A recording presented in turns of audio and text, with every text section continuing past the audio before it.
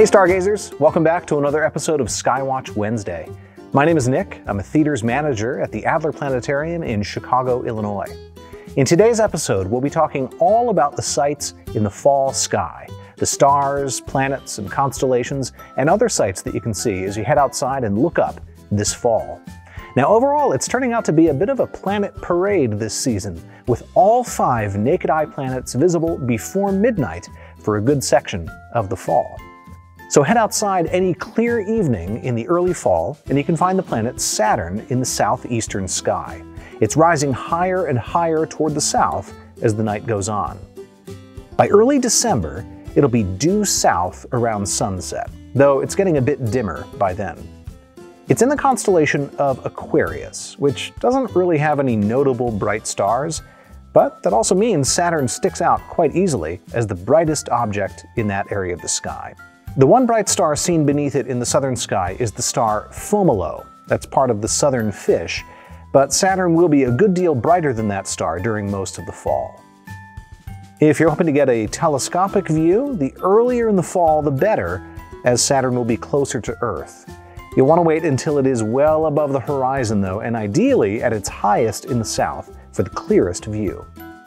Through a small backyard telescope, you should be able to see an amazing view of the globe of the planet surrounded by those beautiful rings. Although the rings will be quite a bit less obvious than in this image, which I took about three years ago. That's because every 15 years or so, our view of Saturn's rings from Earth is exactly edge on. So Saturn appears ringless for a short period of time. We're currently approaching such an occurrence, which will take place in March of next year, with them nearly edge on again in November. So catch those rings while you can. Jupiter is up next, rising almost four hours after sunset as the fall begins, but rising before sunset by the time winter arrives. It's quite a bit brighter than Saturn, and it's located this year amongst a lot of recognizable patterns in the sky. It spends the entire season in the horns of Taurus the Bull. Jupiter through a small backyard telescope is a fantastic view. No rings to be seen, but it's got that large globe and prominent cloud bands. And if you're lucky, you might even see the Great Red Spot if it happens to be facing Earth when you're looking. The four Galilean moons as well, they're always nearby. You can easily see them with a backyard telescope, and even steadily held binoculars should be able to pick those moons out.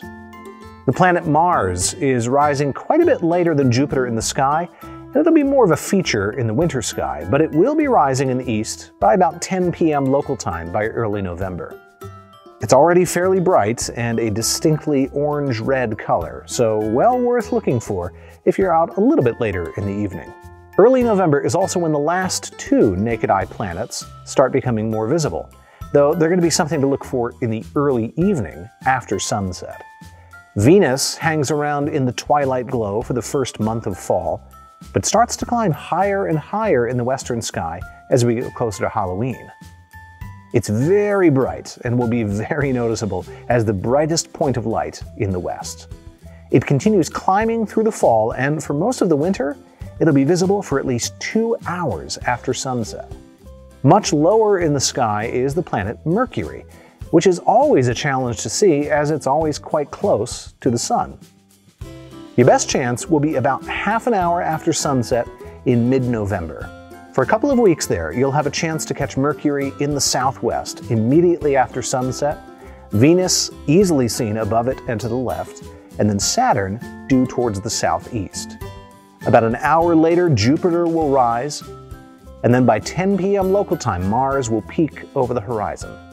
So it's not quite a parade where you get to see all five naked eye planets right after sunset or before sunrise, but at least in this case, you can see all five over the course of an evening, it's kind of fun to go out there and keep track of the sky over that time and see those planets marching by.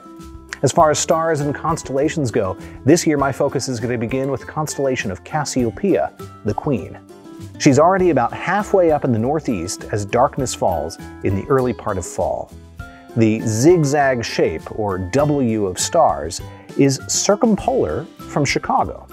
That means Cassiopeia never sets from locations at Chicago's latitude or farther north. But in this time of the year, she's best placed for viewing. Rising just below Cassiopeia is the constellation of Perseus the Hero, and one of my favorite binocular sights is right in between the two. About halfway between them is what's called the double cluster, a pairing of two open star clusters that are about 7,500 light years away. These are visible in very dark skies as kind of a fuzzy blob to the naked eye. But binoculars or a telescope are going to show this as dozens and even hundreds of stars.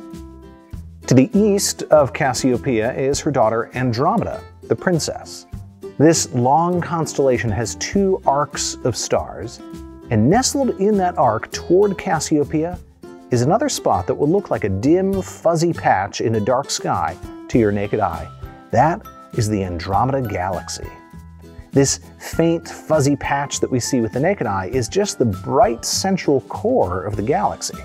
Through astrophotography, we can reveal the spiral arms of this amazing object. This is the closest large galaxy to the Milky Way, but it's still two and a half million light years away. Put another way, when you see this galaxy, either through binoculars or just with your eyes, the light you're seeing first left that galaxy two and a half million years ago. Under these constellations of Cassiopeia, Andromeda, and Perseus is a beautiful star cluster rising up called the Pleiades. This cluster of stars will be heading all the way to the top of the sky in the winter, but for now it's just starting to make an appearance in the evening. The Pleiades, also known as the Seven Sisters, is another open cluster of stars, like the double cluster we saw earlier. The brightest six or seven are easily seen with the naked eye, and binoculars or a telescope can reveal hundreds more. The whole cluster is moving through a cloud of interstellar dust, which results in a beautiful blue haze surrounding many of the stars. The Pleiades are part of the constellation of Taurus, the bull, which this year plays host to the bright planet Jupiter. So plenty of amazing highlights to look for in the fall sky this year, and many others to be discovered. So I hope you go outside and check it out for yourself. Go outside, look up, at the beautiful fall sky. That's all we've got for you this episode. Thanks as always for watching. Don't forget to subscribe to Adler's YouTube channel and also follow us on Facebook, Instagram, and TikTok. Happy stargazing. We'll see you next time.